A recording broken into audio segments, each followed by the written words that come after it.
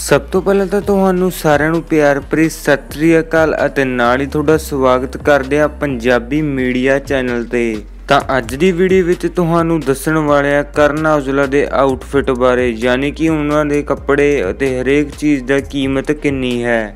ਤਾਂ ਜਿਵੇਂ ਕਿ ਤੁਹਾਨੂੰ ਪਤਾ ਹੀ ਹੈ, ਕਰਨ ਔਜਲਾ ਦਾ ਇੱਕ ਪੋਸਟਰ ਰਿਲੀਜ਼ ਕੀਤਾ ਗਿਆ ਸੀ ਐਲਬਮ ਦਾ, ਜਿਸ ਵਿੱਚ ਕਿ ਉਹਨਾਂ ਨੇ ਇਹ ਕੱਪੜੇ ਪਾਏ ਹੋਏ ਸੀ।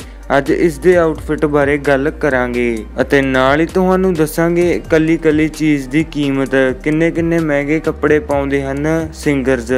ਤਾਂ ਹੁਣ ਤੁਹਾਨੂੰ ਦੱਸ ਦਿੰਦੇ ਆ ਕਰਨ ਔਜਲਾ ਦੇ ਆਊਟਫਿਟ ਬਾਰੇ। ਉਹਨਾਂ ਦਾ ਸਾਰੇ ਪ੍ਰਾਈਸ ਵੀ ਦੱਸਾਂਗੇ ਨਾਲ ਹੀ। ਤਾਂ ਸਭ ਤੋਂ ਪਹਿਲਾਂ ਤਾਂ ਆਪਾਂ ਗੱਲ ਕਰ ਲੈਨੇ ਆ ਕਰਨ ਔਜਲਾ ਦੇ ਸਪੈਕਸ ਬਾਰੇ, ਜੋ ਕਿ ਉਹਨਾਂ ਦੇ ਲੱਗੀਆਂ ਹੋਈਆਂ ਹਨ।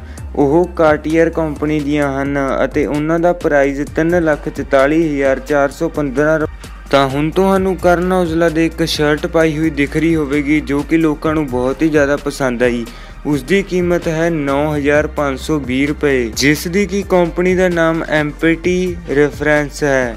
ਤਾਂ ਹੁਣ ਗੱਲ ਕਰ ਲੈਨੇ ਆ ਕਰਨ ਔਜਲਾ ਦੀ ਵਾਚ ਬਾਰੇ, ਜੋ ਕਿ ਬਲੋਵਾ ਕੰਪਨੀ ਦੀ ਹੈ ਅਤੇ ਉਸ ਦਾ ਰੇਟ ਪ੍ਰਾਈਸ ਹੈ 34858 ਰੁਪੀਸ ਤਾਂ ਇਹ ਸੀ ਕੁਝ ਆਊਟਫਿਟ ਪ੍ਰਾਈਸਿਸ ਕਰਨ ਔਜਲਾ ਦੀਆਂ।